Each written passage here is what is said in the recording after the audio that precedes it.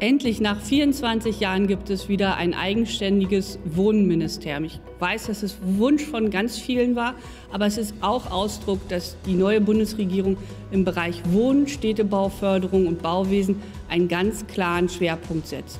Denn Wohnungen werden gebraucht. Wohnen ist ein Menschenrecht, aber viele Menschen in Deutschland finden nicht die Wohnung, die sie suchen.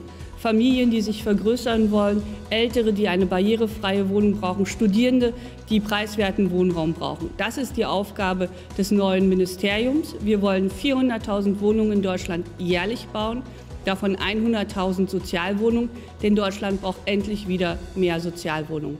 Und ganz wichtig, wir müssen dabei das Klima im Blick haben. Das heißt, wir stehen vor gewaltigen Herausforderungen, gerade auch im Bereich des Bauens, möglichst klimaneutral zu bauen, den Bestand zu nutzen und nachzuverdichten. Ich weiß, dass wir da intensiv daran arbeiten werden, auch mit Ihnen. Ich freue mich auf den Wohnungsbautag 2022. Für mich als Bauministerin ist es die Gelegenheit, das erste Mal auch vor einem größeren Publikum unsere Agenda des Bauministeriums vorzustellen. Es ist ein ganz wichtiges Treffen für alle, die sich für Bauen und Wohnen in der Republik interessieren. Ich bin da und ich freue mich, wenn Sie auch da sind.